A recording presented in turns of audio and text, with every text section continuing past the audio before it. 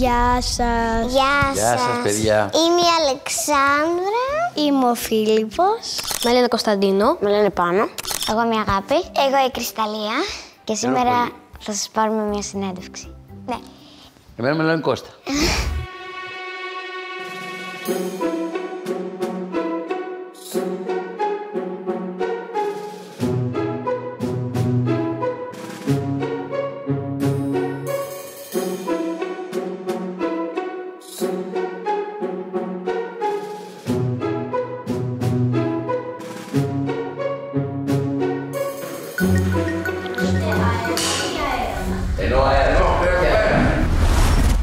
Πώς ακριβώς ξεκίνησε το χαμόγελο του παιδιού;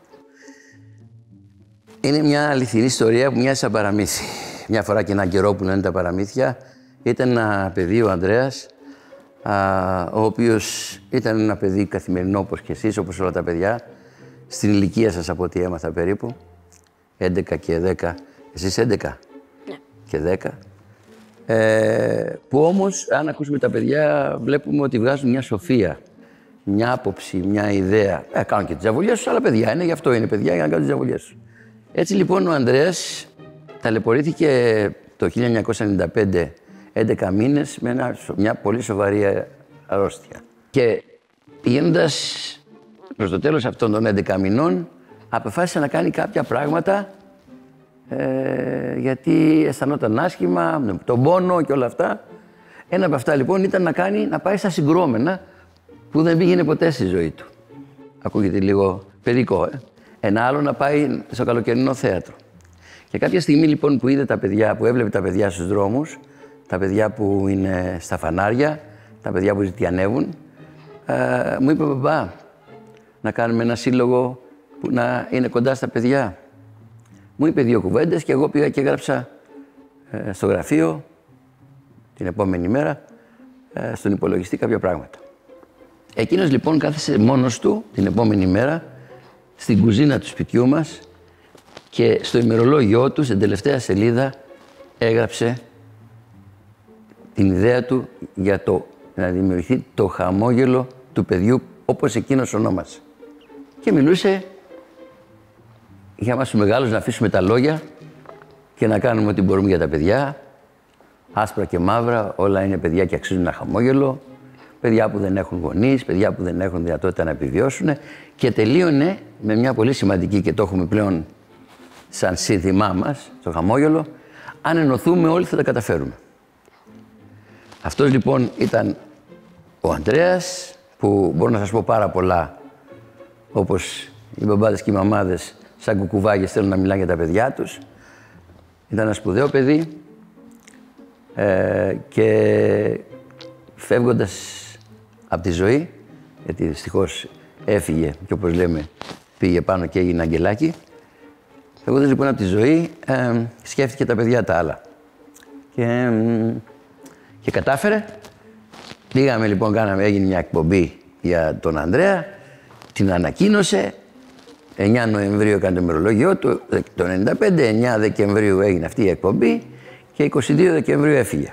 Περίπου πόσα παιδιά έχετε βοηθήσει από την πρώτη μέρα που λειτουργήσε το χαμόγελο του παιδιού μέχρι και σήμερα; Ε, υπάρχουν διάφοροι τρόποι που στηρίζει τα παιδιά με την πρόληψη, με αντιμετωπίζοντας τα προβλήματά του, τις έκτακτες ανάγκες τους και όλα αυτά. Στο διάστημα λοιπόν των 25 χρόνων που έκλεισε το χαμόγελο ε, στη ζωή του και στη στήριξη όλων αυτών των παιδιών και των οικογενειών, έχουμε στηρίξει πάνω από 1.700.000 παιδιά. Μάλιστα. Αλλά πίσω από κάθε αριθμό κρύβεται μια προσωπικότητα, κρύβεται ένας σημαντικός άνθρωπος, ο οποίος ξεκινάει τη ζωή του.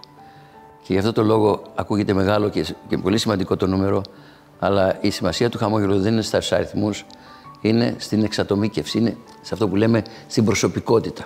Αυτό λοιπόν που προσπαθούμε είναι πρώτα να το εξασφαλίσουμε τα βασικά, την εναλλακτική ε, οικογένεια που καμιά φορά δεν υπάρχει και την, ε, το τι μπορεί να κάνει ένα παιδί στη ζωή του είτε έχει πρόβλημα υγείας, να αποκατασταθεί η υγεία του, είτε έχει πρόβλημα κακοποίησης. Δυστυχώς υπάρχουν άνθρωποι που βασανίζουν και κακοποιούν τα παιδιά ή οποιοδήποτε άλλο πρόβλημα. Και οι πρώτοι εθελοντές που ήρθαν στο χαμόγελο του παιδιού οι πρώτοι στυλοβάτες ε, που ήρθαν και, και στηρίξαν ήταν παιδιά εθελοντές.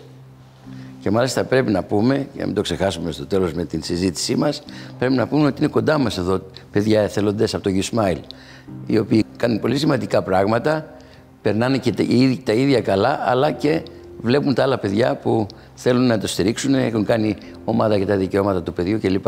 Οπότε όλο αυτό λοιπόν που γίνεται, γίνεται με την ανάγκη να στηρίξουμε κάθε ένα παιδί και όλα αυτά τα παιδιά, τον αριθμός ο τεράστιος που το χαμόγελο του παιδιού στηρίζει όλο τον χρόνο σε όλη την Ελλάδα. Ε, σας αρέσει τώρα που είστε εκεί πέρα και έχετε πολλά παιδιά μαζί σας; Κοίταξε, μ' αρέσει το ότι μπορώ να είμαι κοντά στα παιδιά.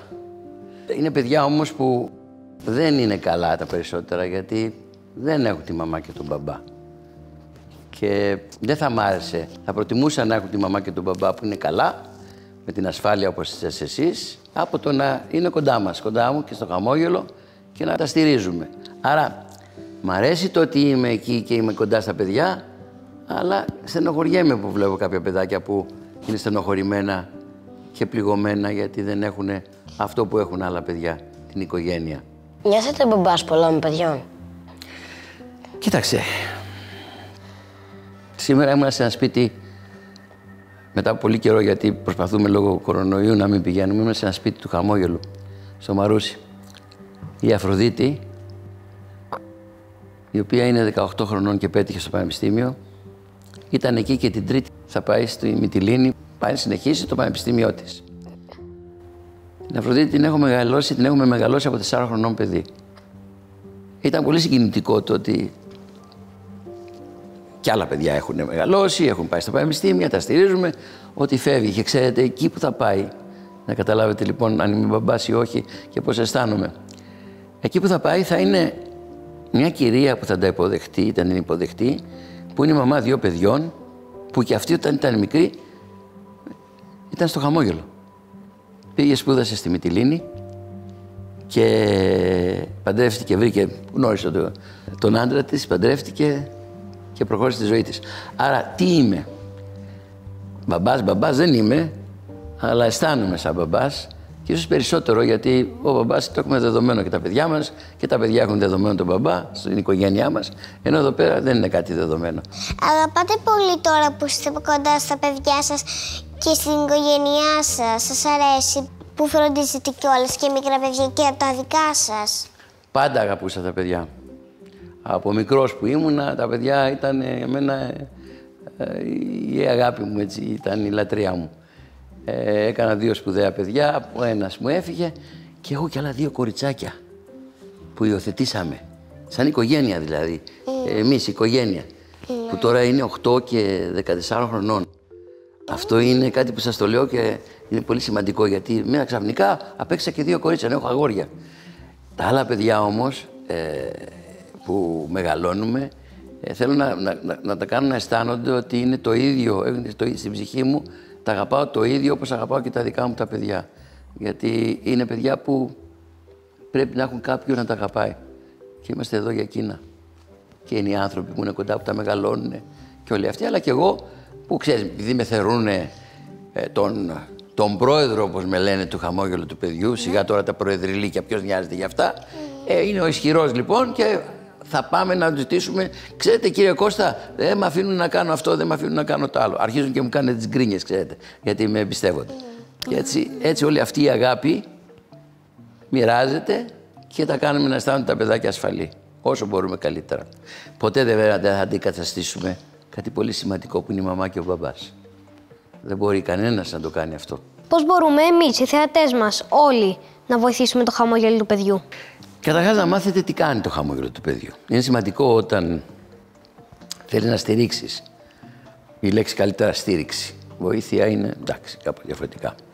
Καλή και η λέξη αυτή, αλλά στήριξη. Γιατί στήριξη δεν είναι μόνο να δώσεις χρήματα, στήριξη είναι να γίνεις εθελοντής, στήριξη είναι να, να συμμετέχεις με τις δικές σου γνώσεις, ε, είναι πολλοί τρόποι που μπορούν κάποιοι γονείς που ξέρουν μουσική να βοηθήσουν κάποια παιδιά να μάθουν μουσική, κάποιοι άλλοι που καθηγητές, εκπαιδευτικοί να διαβάσουν τα παιδιά στα σπίτια μας, κάποιοι γιατροί να είναι στα ιατρία μας και στις μονάδες που έχουμε.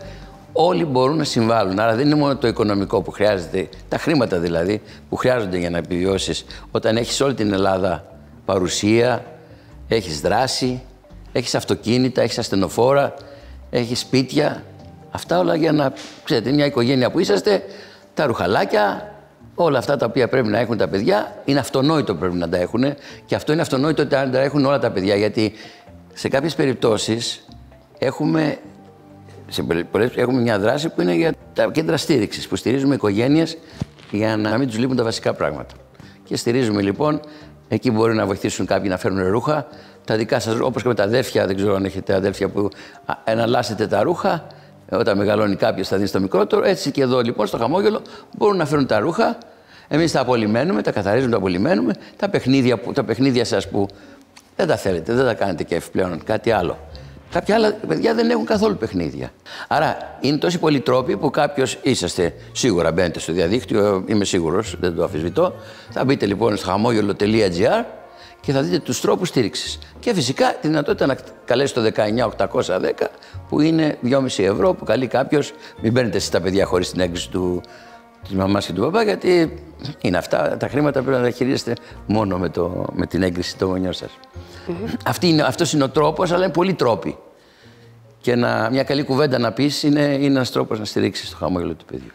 Εμένα ο πατέρας μου, τώρα που είπατε για ρούχα, ε, μερικές φορές από την πολυκατοικία ζητάει να του δώσουν τα ρούχα που δεν θέλουν για να τα δώσει στο χαμόγελο του παιδιού. Είδες.